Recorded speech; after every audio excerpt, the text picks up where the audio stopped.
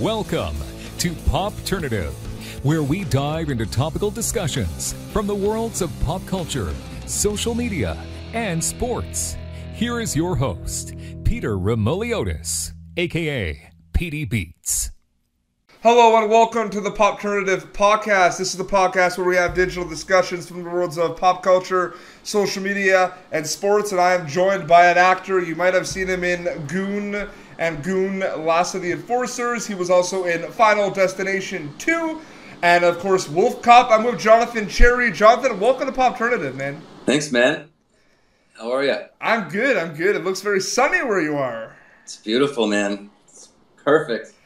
It's awesome. No, it's uh, it's great to have you on, man. Like you've, I, I know um, you've been uh, you were pretty busy for a couple years. You know, uh, filming Goon and uh, Goon Two, Last of the Enforcers. That came out in March, actually, in Canada. Um, talk a little bit about uh, what you've been up to specifically. Um, if you've been working on anything, uh, what's been going on in the life of Jonathan Cherry? Like, so uh, yeah, I did. Um, well, speaking of Wolf Cop, we, we shot a sequel to that in March called Another Wolf Cop. I think Oh. that's coming out in Canada in s- September. Okay. And um, what else? I did another film that's uh, going to be going to festivals uh, next year called The Maestro. Wow. um, and I'm starting something um, with the actually the director of Wolf Cop. Uh, his name's Lowell Dean. We're starting a movie called Super Grid in uh, June. Very cool. Yeah. No. Yeah. So, so busy time, man. I've been busy. Yeah, it's been the last couple of years. Have been uh, since Goon Two. Been pretty good. Been pretty busy. I have had other actors on on the show. and They talk about basically what ends up happening, and I want to know if, if if you agree with this or this is the case where you work for like three four months, you're getting everything ready, and then there comes you know one or two months where it's just like nothing much is happening, where you know you're just like. Shit, like, does that ever happen? Does that does the busyness come in waves? Where it's Oh, big time. That's Yeah. the total. That's the nature. It's the total. The nature of the beast for sure. It's. Uh, I mean, I was. So you're talking about Final Destination. I I uh, I worked for. I did that, and then I did this other movie right after, which I don't know if you, you said you're a big horror fan, Yeah. which is kind of a uh, a mark on my resume. But uh, uh, House of the Dead. dude, I was just talking to my friend about that, man. The video game was like legendary. Yeah, the movie wasn't so legendary, but uh, I started- Yeah, I you were a, you were a lead in that, right? Yeah, yeah. I'd only been, dude. I'd only been acting for a couple years when when that happened, and Uwe Boll happened. And uh, listen, that was fun. In, in retrospect, it was a lot of fun. Um, but yeah, so to your point, I I did Final Destination was like three months straight, and then I started House of the Dead the day I finished that. So it was like basically five or six months straight of work. I moved to Los Angeles and then didn't work for a year. So, you know, Wow. but then you, you know, so you never know. I mean, it, it totally comes in waves. You can never predict it. I mean, you could be second choice for every part you audition for and never work again, or you can just get on a roll and just keep going and going and going. So Yeah. I've always, I've had big ups and big downs. Like it just totally comes in waves.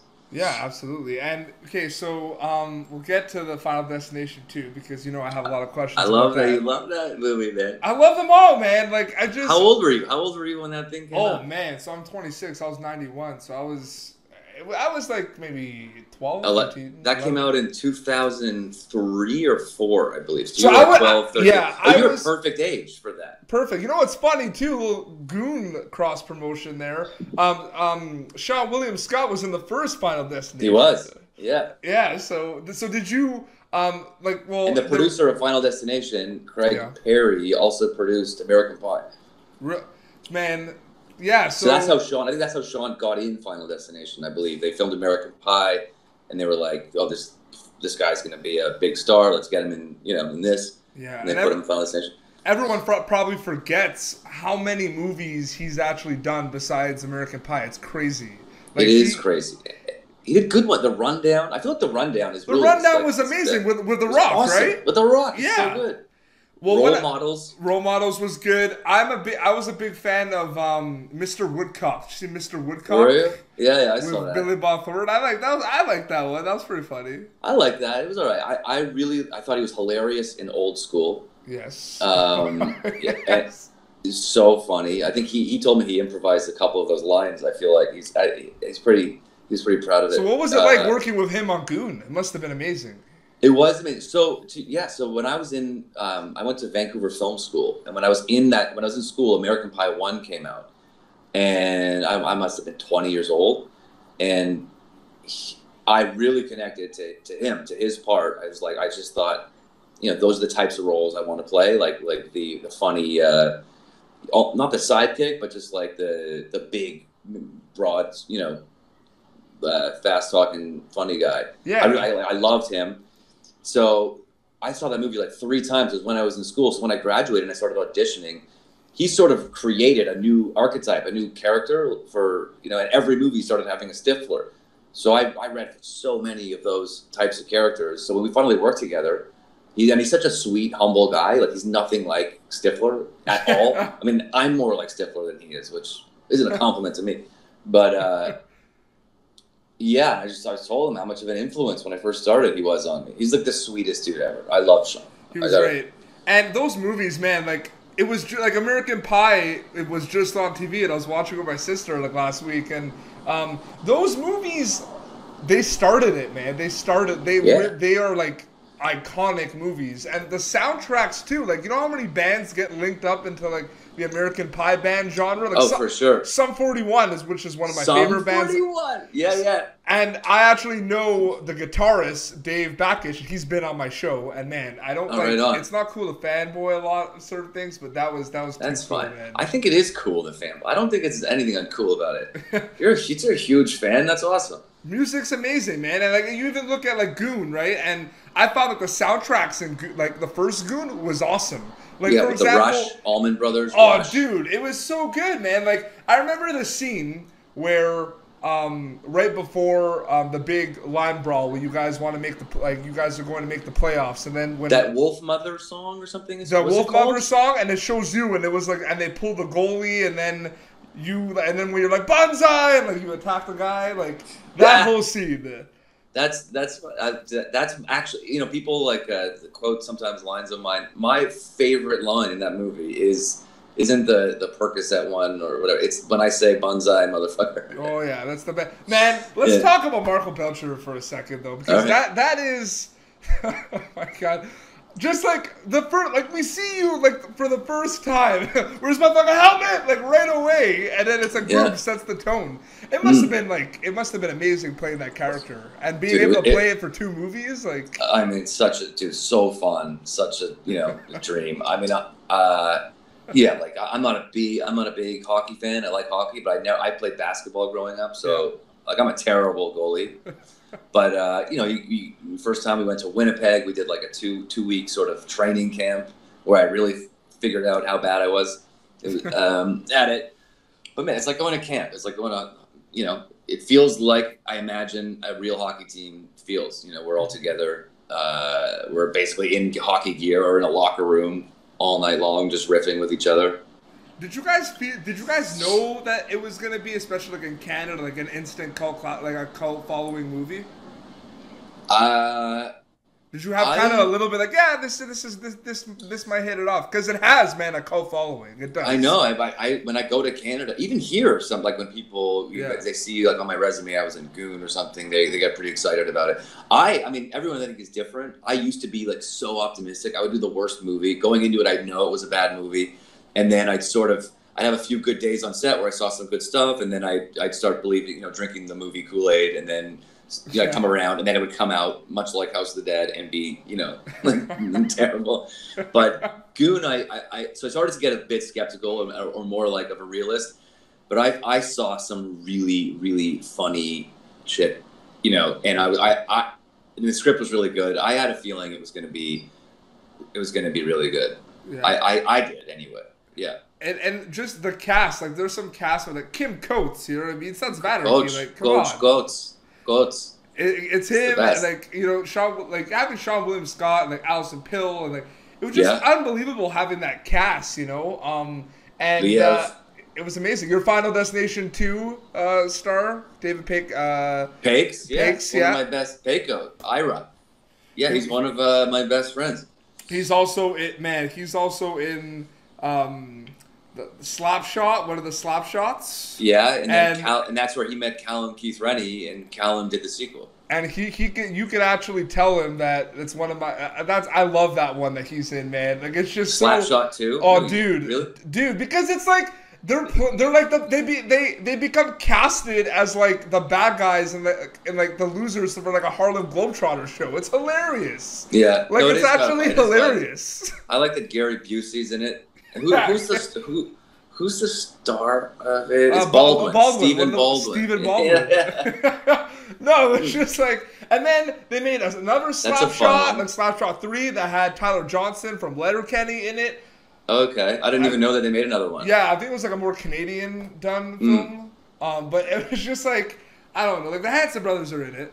But like Yeah. other than that, it's just yeah, man. I grew up as a big hockey guy, so I was so pissed that the, the Hanson brothers. I was supposed to go to the premiere in New York Mm-hmm. for Goon, and I, I didn't go. I don't remember why, but I, I remember looking at the Hanson brothers came out in New York to that premiere, and I was so pissed I missed that. I wanted to meet those guys. man, it's just. Have you met Doug Doug Smith, the real yeah, Doug? a few times. A few times. Yeah, he's been on my dude. show. He's great, man. Just to hear Yeah. his perspective of it, man, is it's unbelievable. What was his perspective? Well, his perspective is just that he made this, he had this book just kind of sitting there, and then all of a sudden, boom, someone wanted to make a movie out of it, and it's just like, it just snapped, like by the snap of hmm. the fingers, his whole perspective on what he did and his past.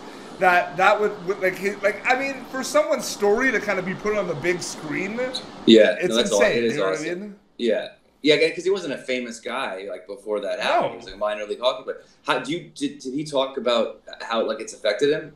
The movie, like, is it help like giving him opportunities or anything? Yeah, we ha- we did. We actually had I had him and I had Adam Scorgie, who was the executive producer of Ice Guardians, that documentary. I don't know if you saw that. I never saw that. No. Um, about you know a lot of um, the kind of tough guys and fighters in hockey.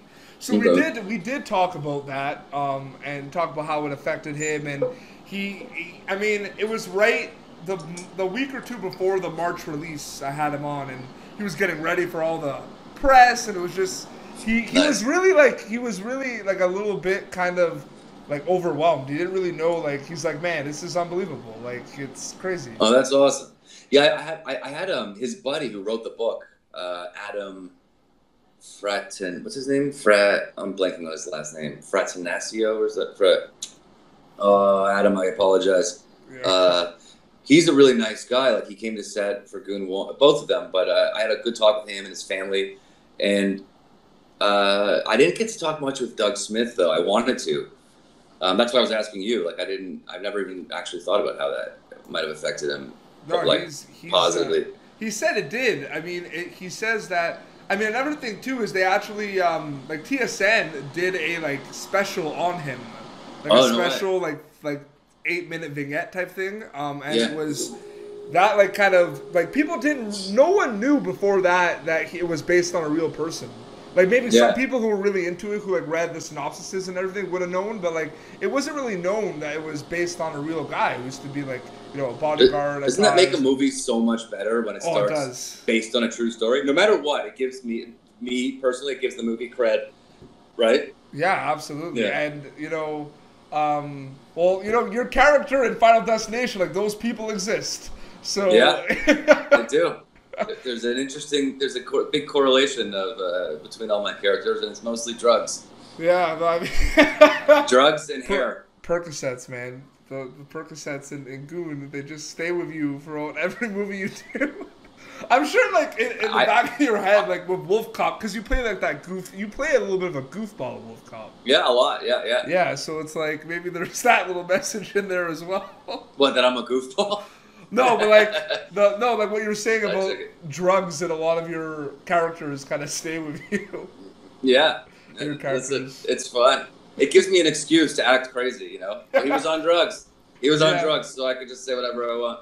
So, so I need to ask you, Final Destination two. Um, the first one was such a big deal, and then they made the second one, and it was kind of interesting because Ali Larter was kind of like the only person like from the first coming back, so people were kind of like, oh, right away, you know, like maybe it's gonna be a whole different movie. But I loved it, man. The car accident Yeah. scene, like on the bridge, like oh my god, man, it was unreal. Um, That's awesome. What they did was was incredible. And then the third with the roller coaster, man, like that that one too. Like I, I hate to say it, but Yeah. like I might have liked that one just a little bit better than Final Destination Two. just because I love man, I'm a theme park guy too, so um, it's Alright. just unbelievable. But like, yeah, You're th- what? So you're not a driving guy?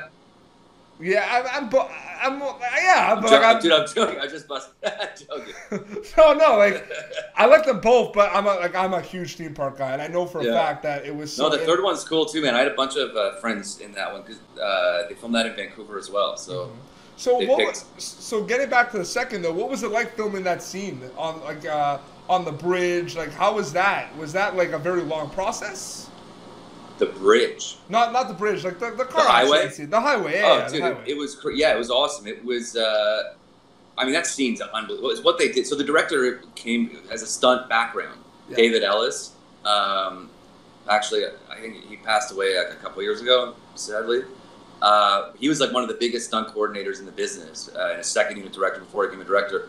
So we filmed the whole movie, and then we went to Vancouver Island, uh, Campbell River, this little town, and we got a full like I think a couple miles of a highway or a kilometer, like four or five kilometers, and uh, it took three weeks to shoot that.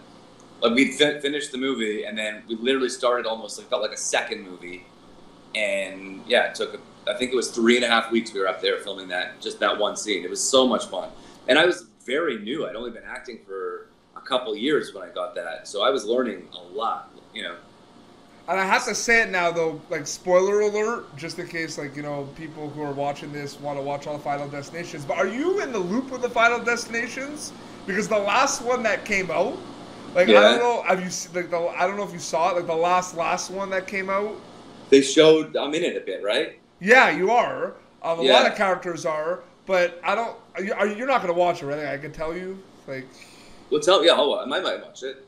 I might Okay. have watched it. What was it called? It was. Uh, it was the last one, and it had Nick D'Agostino in it, who was in Fired Up. And Is it the one on the bridge? Yeah, that's the bridge. I one, did yeah. watch that. I did see it. The ending, man, the full circle ending. What what happened? Tell me. Well, it's remember. like he's on. His character is on the plane with Devon Sawa and Seann William Scott. Oh, So it's like-. No, he's like so basically it like his that that bridge scene was like the first one that happened. It was the first destination. And then they show up Ah. he- he's going to France for culinary school and he's just sitting down and he's like, "Oh, like I didn't die, like everything's good." And then you see that scene from the first where Devin Devon Sawa's getting like like kicked off the Yes, plane. I do kind of remember that. Yeah, so it was almost like a. It happened at the same time as the first one, Yeah, it was like a prequel. but death never got to him until. Oh, that's cool. I don't. I, re- I vaguely remember that, but that's Yeah. a that's an awesome take on that. I know. I just I, I- I love those full circles, man. That like kind Yeah, of I think it was the. I, I love that series. Like I saw the first movie and I thought it was awesome. Like I, I so I, I knew what it was when I auditioned for number two, but I think it was the same writer Eric Bress who did, who wrote number two. I think he did. He wrote that one as well. Yeah, he, he did, Yeah. and then there was also, and they did like there was then there was after like the fourth wasn't the best. Um, it was okay, but it was like 3D. It was a 3D one. In the racetrack. Yeah, that was. Yeah, a- yeah. It had a sick opening because we were talking about how I love music and music's important. They had like Devour by Yeah. Shinedown in the beginning of that, and I was always like, Oh, that's nice. a pretty cool song put in the. Yeah. yeah, I'm kind of an out of the box guy, man. I think of the things that people don't really think about all the time when they think of a movie. So That's all, dude. You're a true fan. That's awesome, man. I, I like that. It's good. And uh, you know, you mentioned to me a little bit before too, but like, how did Jonathan Cherry start like acting? Like, how did when did that all start for you? Uh, so I mean, I think I always uh, wanted to to do it. I was probably, you know, where I was raised and how I, I just it wasn't really an option. You know, and I didn't even think it was a possibility. Mhm. Uh, but growing up, all I, I loved, you know, I loved movies, basketball. You know, like I, like I really just, I didn't have huge interest outside of that. And then I went to uh, Western for a year, and while I was there, I I, I just was, you know, noticing what everyone was into, and everyone was very, well, not everyone, but a lot of the people I was I was hanging out with, they were all very clear about what they wanted, and uh, you know what their goals were, and they, they knew a lot about, you know, I mean, Western's one of those schools, but uh, big party school, and they, they knew a lot about like material stuff. They all had like, you know, tunnel vision for what they wanted, and I had Yeah. no idea. So I, I sort of I took a week off. I was I think I was in my apartment a little bit depressed for like a week because I I just felt like I had no you know focus and uh, I remember a uh, trailer for Titanic was coming out. I think it was like 19 Yeah. and uh, uh, I saw like DiCaprio on the end of this huge boat and I knew it was like a major thing. I had no idea about budgets or what the budget would have been at that time. I didn't really know much, you know, and I just thought that is so epic. But I, I, I was in denial. I was like, I, I thought that was really cool, but I thought, you know what, that's an industry. Like, I love movies. Why, why can't I just go hammer nails into a boat? Like, like a lot of people had to build that, you know. Mhm. And uh, and then I, I came to the you know terms with like I'm, I'm bullshitting myself. Like I want to be an actor. Like that's really what I've always wanted. So I went away to uh, to see my parents for Christmas, and I told both of them, you know, that I wanted to do it. They they uh, it was pretty random to them because they had no idea. They, they hadn't heard anything about that before. And it was really funny. I I, uh, I I looked into Vancouver Film School because I, the one actor I knew growing up, he, he talked about going there. And I came back to London, Ontario, and I had uh, dinner with my best friend at the time. And he, we both sort of, you know, had big news for each other. Like we were, I told him I was, was going there to tell him I'm dropping out and I want to be an actor and I'm going to Vancouver Film School. And his, he was coming to tell me the exact same thing, which is, which is so random and so crazy. Yeah. So literally four months later, we were, you know, driving across Canada in his uh, VW, uh, his crappy VW Golf, and uh, we had no place to live. We were just both signed up to Vancouver Film School, and so we did. We got there, did the year-long program, which we learned a lot, and uh, and then it just it was really busy there at that time. So I. Uh, you know, I got. I think I got lucky at the time that I started. That it, there was a lot of opportunities, and it sort of just happened. But you say luck, but I'm also gonna say, even though you're not gonna admit it, like the hard work and dedication that you show, man, is unbelievable. You can definitely see it with the like what what you've done. It's it's amazing, man. Like, Thanks, like man. congrats on all the success. You know, I um, appreciate it. you've been in some amazing movies, and thank you. It means like the world that you came on my show, man. Oh, dude, anytime. I'll, I'd gladly come back whenever you want it. Oh, for sure, man. For, we, we do a lot of panels too, so maybe we can get you on a panel as well. Like, Do it. It would be Yeah. awesome. But uh, Jonathan, thank you so much I'm for down. joining us. We'll we'll wrap up here. But um, any closing remarks? Anything you want to just plug or, or say before we go? Uh, no, man. Listen, it was great meeting you. This was a lot of fun. Uh, I think we talked about the things I'm doing. I got that Super Grid movie, and Wolf Cop 2 is coming out, and uh, Goon 2 in the States. It's coming in September. If people, uh, if any Americans are watching this, go see. Goon 2. And, James uh, Duffy. That was a big get. Eh? Everyone's talking about Yeah, T- yeah, yeah. T.J. Miller, but James Duffy was a good friend of mine who's been on the show a couple of times. Like He was great, too. I thought he did a good job. That's like the greatest like. Like that's a great like duo though, like James Yeah. Duffy and T.J. Miller, like that's amazing. Yeah, no, they were funny. I love them in that movie. I think they're really funny.